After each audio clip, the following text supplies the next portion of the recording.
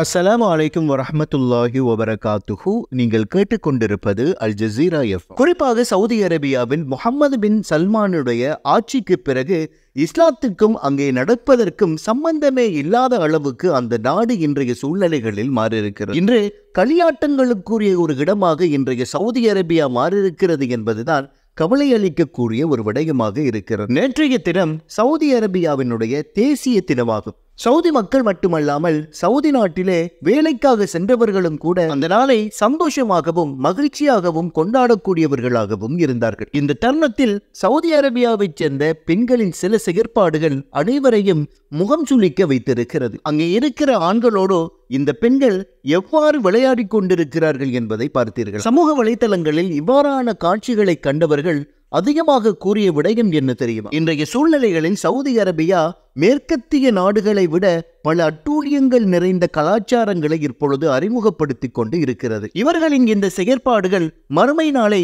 ஞாபகப்படுத்திக் கொண்டே இருக்கிறது.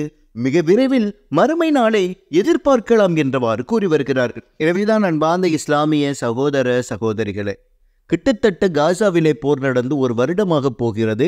அந்த மக்களுக்கு இதுவரை இந்த சவுதி அரேபியா எந்தவித தீர்மானங்களை பெற்றுக் கொடுக்கவில்லை என்பதுதான் கவலையான ஒரு விடயம். எனவேதான் அந்த காசா மக்களுக்காக வேண்டி ஒவ்வொரு தொழுகையிலும் நாங்கள் தொழுது துவா செய்து கொள்வோமாக.